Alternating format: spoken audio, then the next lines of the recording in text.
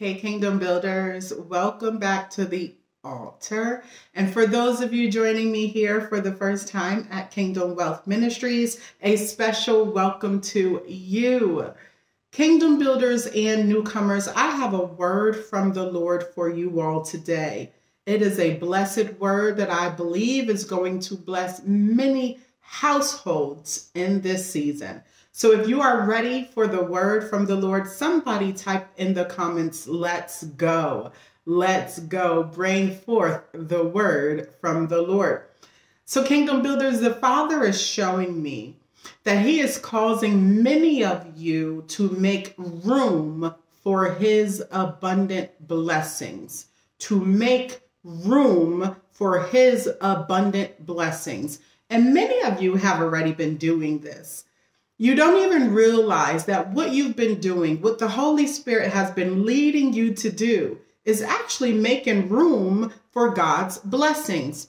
For example, Many people have reported to me that just out of the blue, the Holy Spirit has impressed upon them to give away their clothes, to give away their jackets, for example. Shout out to you, Joshalina, to give away their very expensive clothing materials, some inexpensive things, to open up their houses to people that they wouldn't normally open up their houses to, to do good to people that wouldn't even normally be on be on their radar, to bring new people to church, for example. Even me myself, this past weekend, I found myself going into my closets oh Jesus, pulling out my old clothes. Let he who has an ear hear what the Spirit is saying today pulling out my old clothes, going down to the donation center of the local homeless shelter and donating my clothes, donating my children's clothes,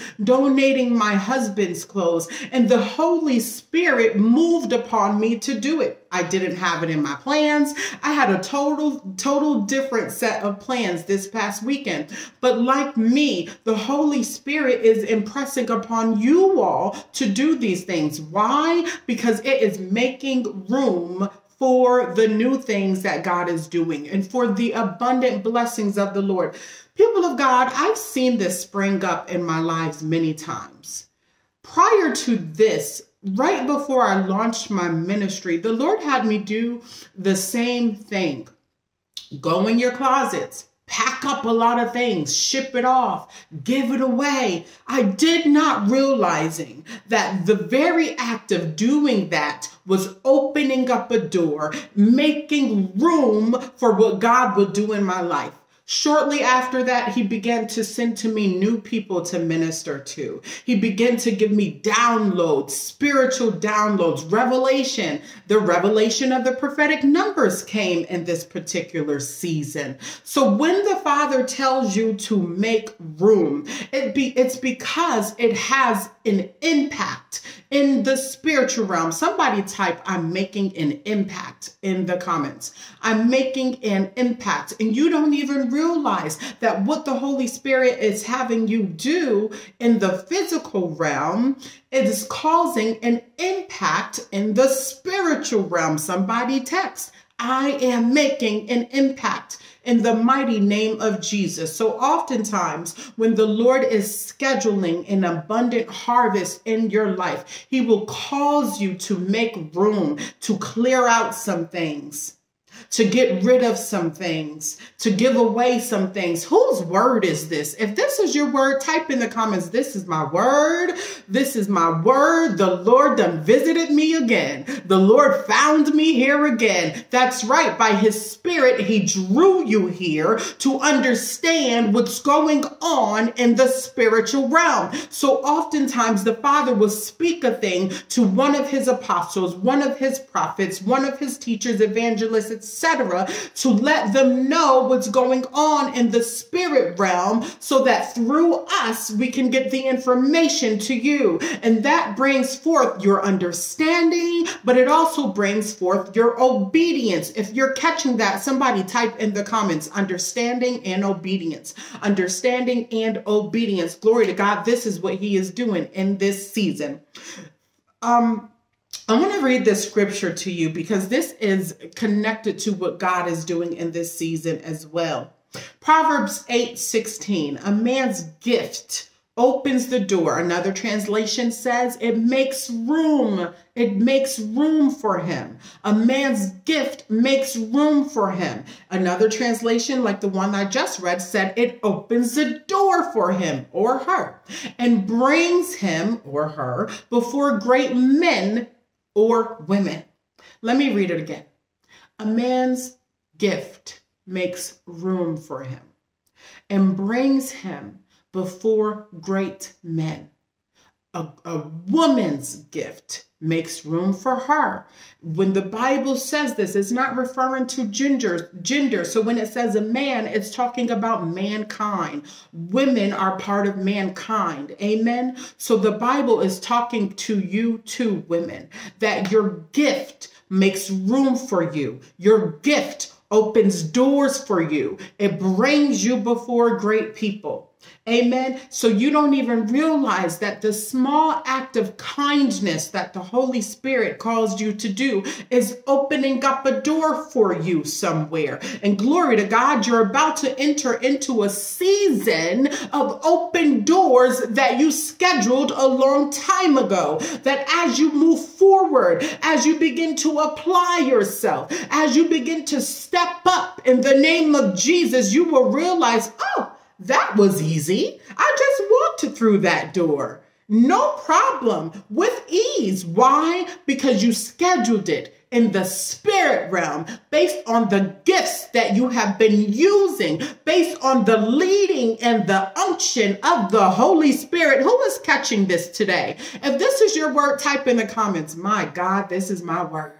My God, you have found me in the mighty name of Jesus. So many of you have begun to make room several ways. You've begun to make room for Jesus, for example, by building an altar in your home by carving out some space in your room where you can give time to prayer and worship. Even your praise and your worship is making room for Jesus, is making room for the Lord to act in your life and on your behalf. It's making room for the heavenly host to go to war for you, to go to bat for you. It's making room even for people to receive salvation.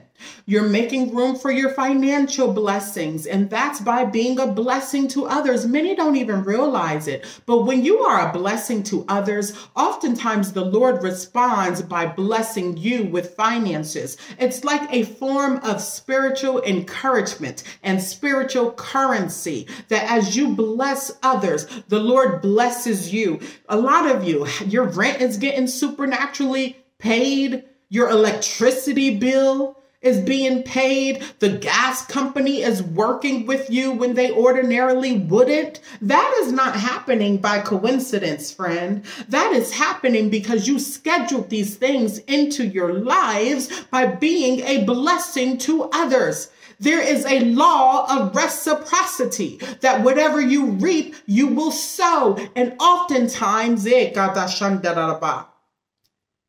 always it always happens that when you give, you always get more than you gave more than you expected. I am praying for somebody right now in the name of Jesus for you to come into this season of more by the Spirit of the living God. I schedule more into your houses, more into your lives, more into your businesses in the name of Jesus. If you receive it, type it in the comments. I receive more. I receive more. And may you be a blessing to the kingdom of God with this more that is about to come into your lives in Jesus' name. So, another way that people are making room for these abundant blessings is by studying, for example, how to exercise, how to eat right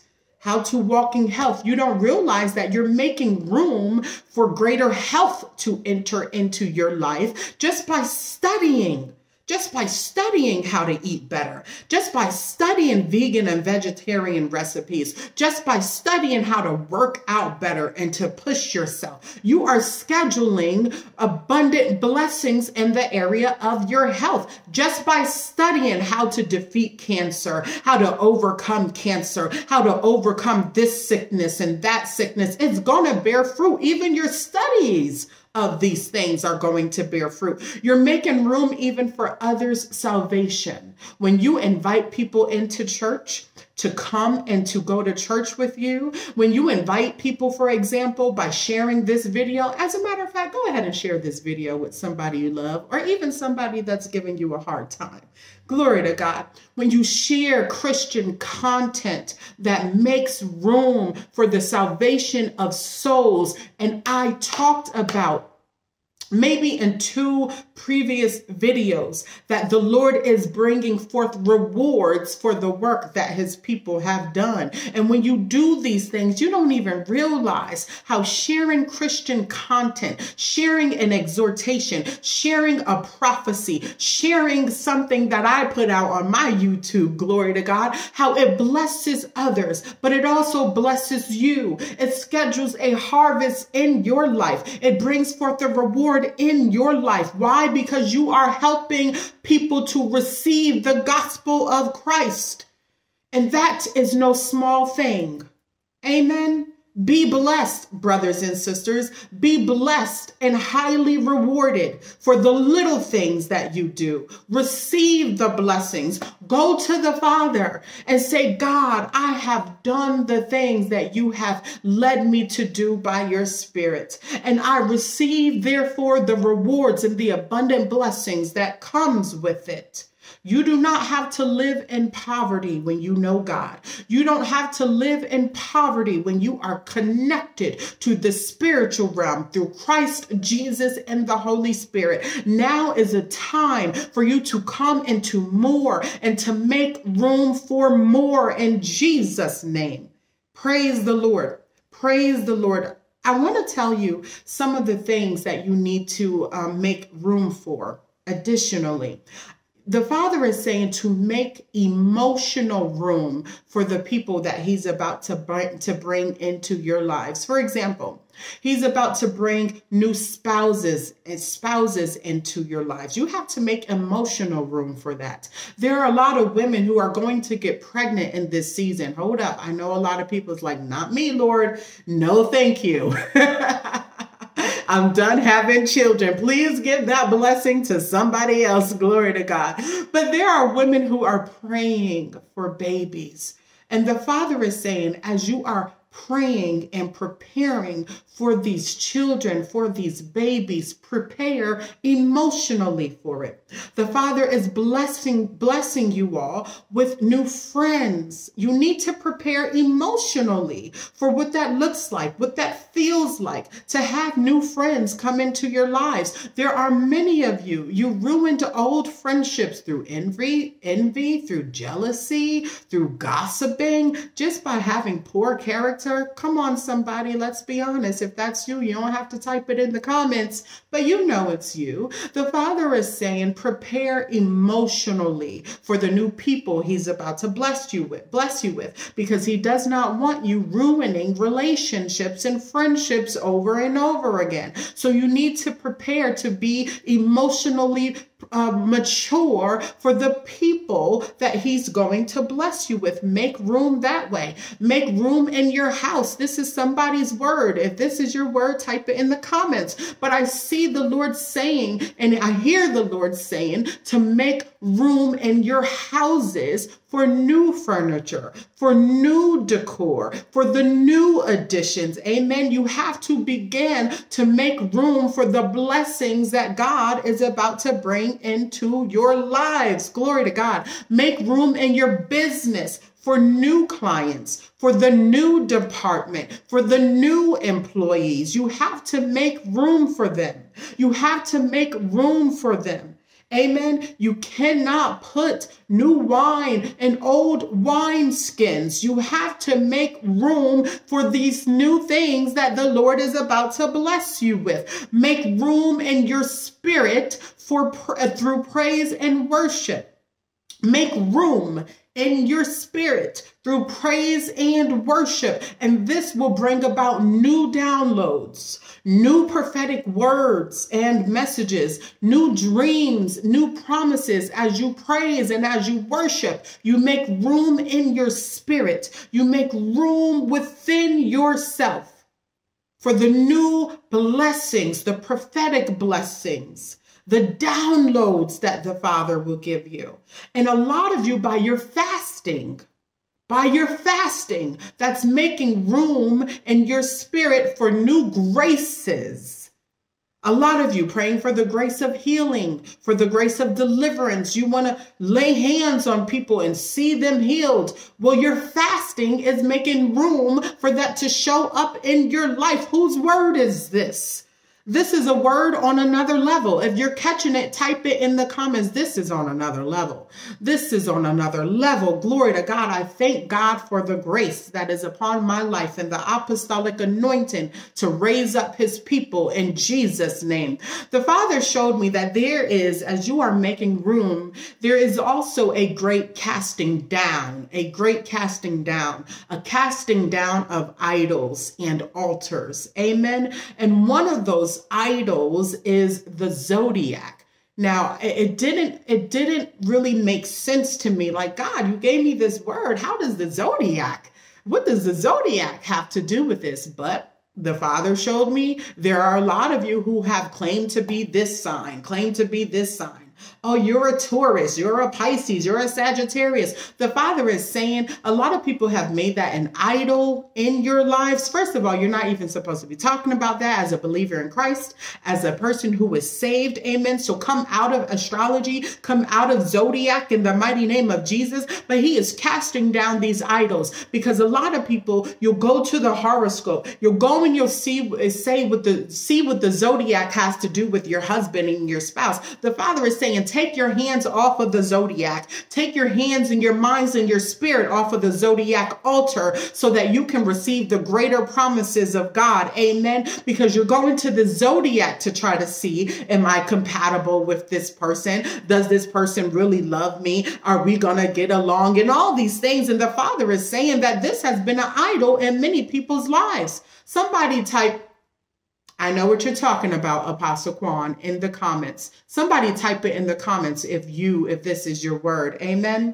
Amen. So the Father is saying that He is casting down idols in this season. And one of the, the idols is the zodiac. Amen. What does this have to do with making room? Because as you get those idols out of your life, you make room for the one true God, the God of heaven, the God of Abraham, Isaac, and Jacob, to come and dwell with you, to come and show up in ways that he's never shown up before. You have to move out the old idols and bring in the new. You have to move out the things that don't serve you, that have been hindering you and harming you to make room for the King of kings and the Lord of lords. Amen. Amen. The Father also gave me Leviticus 26 10, which says, You will have enough crops to last for more than a year. Eh, Let me run that back. It says, You will have enough crops to last for more than a year. You will have you will harvest the new crops, but then you will have to throw out the old crops. Why? To make room for the new crops. My God. A lot of you are living in overflow and you don't even realize it. How was I able to give away so many clothes this weekend? Because I was living in overflow. I had an overflow of clothes, an abundance of clothes, so much that I could give many away and still have some. And I didn't even realize myself that what I was doing was in the scripture where God had given me plenty. And the Father is saying, now is the season for you to give away the overflow. Why? Because I am bringing even more into your lives. People of God, not for nothing, and I'm not bragging or boasting. And indeed, if I brag or I boast, I brag and boast on our God because He has blessed me. I have a huge house with huge closets. And when I say those huge closets, are still, even though I've given away clothing, are still filled with clothes. I have to give away more. Amen. And if there's somebody watching and you don't have clothes, you need clothes. You like my wardrobe. You've seen how I've dressed on Instagram and on YouTube, and you like my clothes. I would be willing because I'm obedient to the word of God too. The Lord said, make room. I'm continuing to make room. And some of that making room involves blessing others. I will bless you with some clothing of mine, especially if you live in the metro Atlanta area. I will send somebody to give you my clothes if you live here locally. But if you don't, then I will ship them to you. I know a lot of people, I can just see it now. A lot of people are going to be flooding my inbox. If I don't respond to you, it's because I've chosen other people to give to. You all don't realize that I receive a lot of messages on a daily basis. So please don't be offended if I don't reach out to you or if I can't give to everybody that emails me or reaches out to me. But I am willing to bless a few people that the Lord will lead me to give to with a wardrobe, with clothing from my own closet because God has blessed me.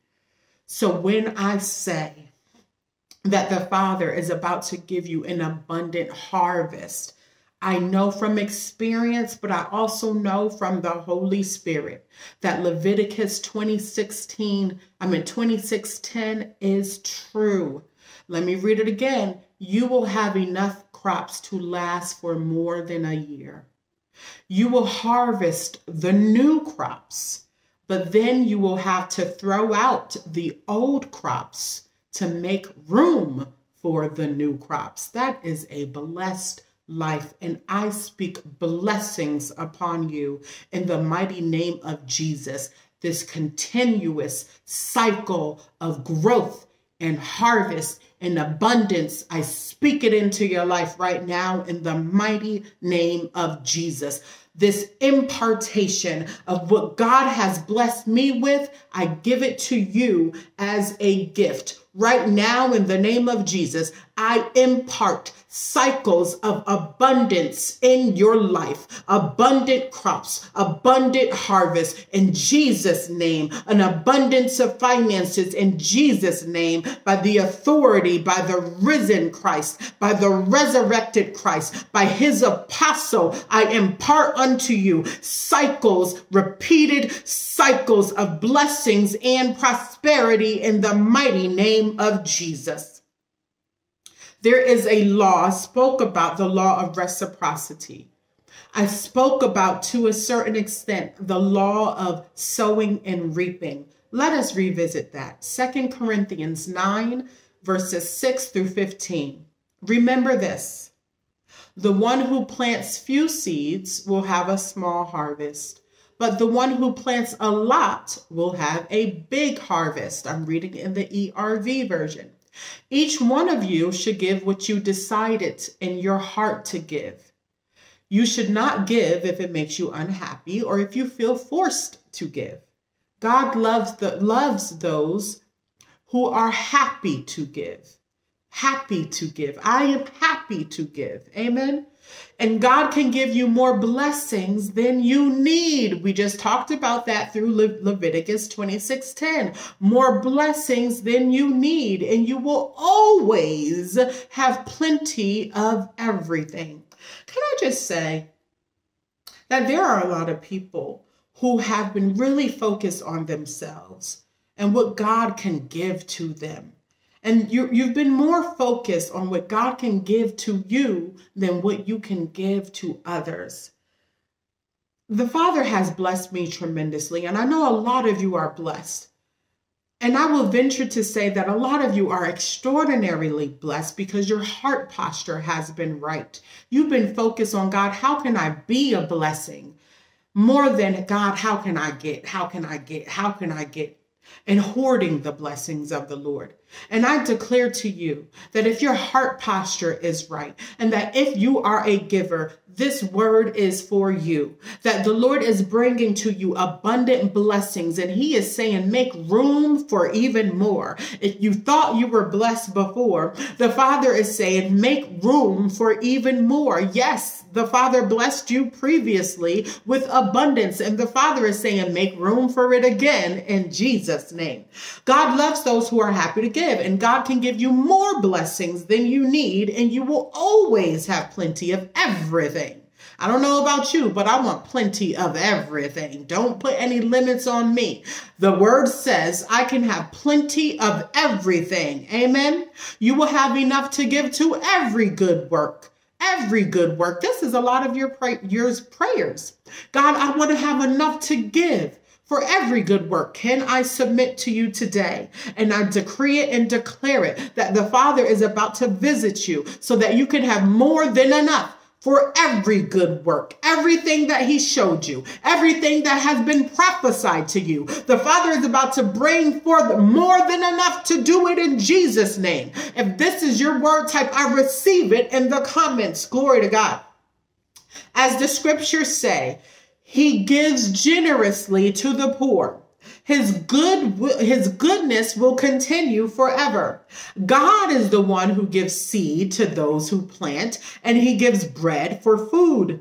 And God will give you spiritual seed. Remember I said you don't even realize what you're doing in the spiritual realm when you're giving spiritual seed and make that seed grow. He will produce a great harvest from your goodness. God will make you rich in every way who wants to be rich in every way? Glory to God. He wants to make you rich in every way, not just in spirit, not just so that you can say amen, he wants to make you rich in every way so that you can even be a financial blessing, so that you can have a richness of grace to impart healing onto God's people. He wants to make you rich in every way, rich with friends, rich with a wonderful spouse, a beautiful spouse, a strong spouse, a committed spouse, rich in every way, rich in your business, rich in your ministry. Amen. Amen. This is not prosperity gospel. This is the word. This is true gospel. It's all inclusive. It's all inclusive. Preach Jesus, man and woman of God. Preach Christ. Preach the resurrection. And as you're doing it, don't neglect to also preach that your people can be made whole in every area of their lives. Don't neglect that because what you will do is give hopelessness to people. God, we know Jesus, we know Christ, but does he also help with our finances? Does he even care that we don't have a roof over our heads? Yes, he does care, people of God. And the Christ that we serve, the resurrected Christ, also cares about your financial well-being. He cares about every area, every area, every area of your life. And he is able to make you blessed and abundant in every area. Glory to God. Glory to God. I don't know who was watching that needs to hear that. I sense that there is a man or woman of God that you've been really focused on only preaching one side of the gospel and it's making your congregation poor. It's keeping them in poverty. Bring them up out of poverty. Bring them up out of oppression. Bring them up out of Egypt. Bring them up out of slavery. Bring them up out of Babylon by the word of God, the full word of God. And that includes prosperity in Jesus' name. Glory to God. Thank God for Kingdom Wealth Ministries. Thank God for Kingdom Wealth Ministries. It is not about prosperity gospel. It is about the truth of the fullness of God. Amen. If you're glad about it, somebody type in the comments, I'm glad I found this ministry. Glory to God. Glory to God. All pride cast down, all boasting, all bragging cast down, cast down with full humility I say, I thank God for this ministry so that the people of God can be whole and can elevate to their full potential in Christ. Glory to God. Glory to God. God gives us seed. Verse 12 The service you are offering helps God's people. the service you are offering, Apostle Quan, you might as well insert your name in here. The service you are offering helps God's people with their needs, but that is not all it does. It is also bringing more and more thanks to God. Has anybody thanked God in this video today? Through this word today? It also brings about more thanks to God. This service is a proof of your faith. The Lord, I'm sorry, y'all. Well, I'm not sorry. God is speaking to me right now, even as I am ministering to you. Who is catching this? Who is catching what is happening in the spirit right now? Success is spiritual. Success is spiritual. And we serve a God who can talk to you, you, you, your mommy, your auntie, your uncle, your cousins, everybody connected to you and me at the same time. Amen. Praise the Lord. This service is proof of your faith and people will praise God because of it. They will praise God that you freely share what you have with them. Huh.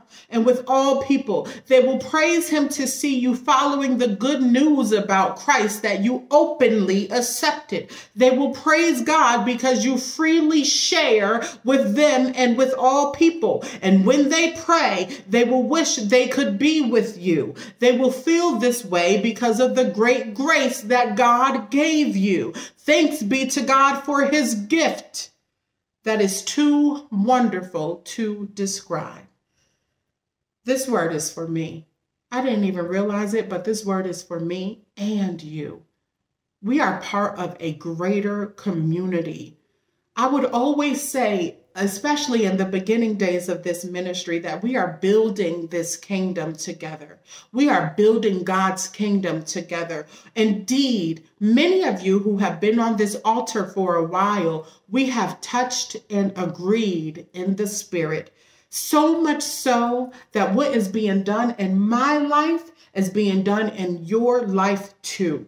Indeed, this is an altar dedicated to the Lord, that as I come forth, I am imparting unto you, but the Lord is also blessing me. And it is a continuous cycle of impartation and blessings and abundance and prosperity and growth and knowledge and wisdom and understanding and power and authority and influence. Glory to God. The Father is saying, make room for the new people of God. Make room for the new in Jesus' name.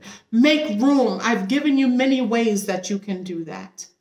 One of the ways, one of the ways that I believe is the most important is that as you come forth and you worship in this season, it is making rooms for making room for you.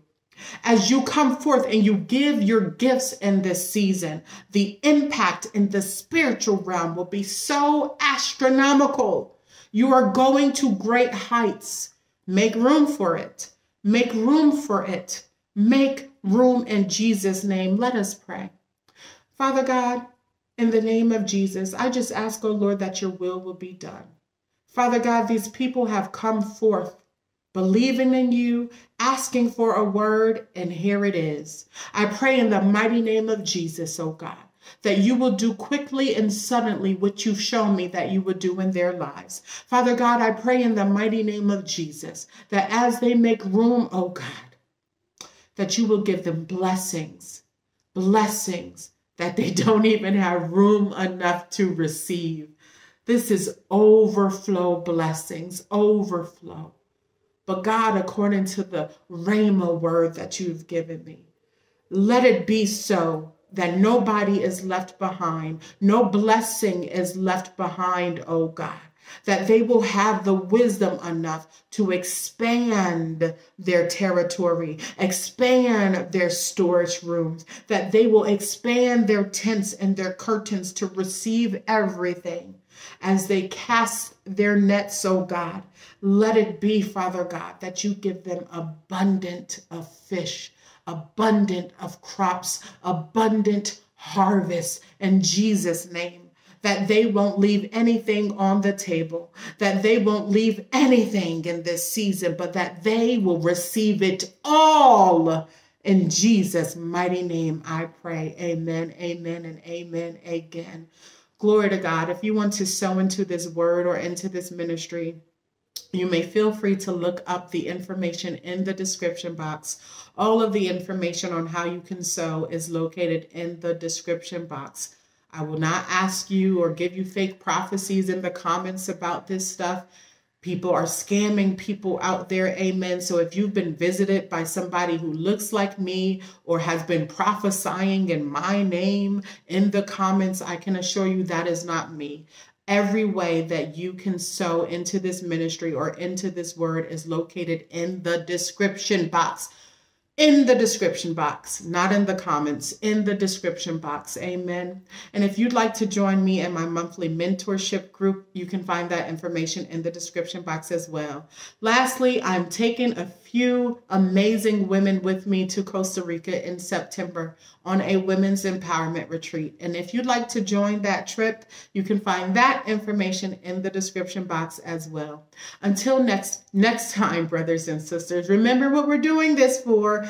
It's to build the kingdom of God. And I'm so glad that we get to do it together we're doing it, y'all. We're doing it. Somebody type in the comments, we're doing it in Jesus' name. Go forth and prosper. I love you. I love you. I love you. And I'll see you in the next video. Goodbye.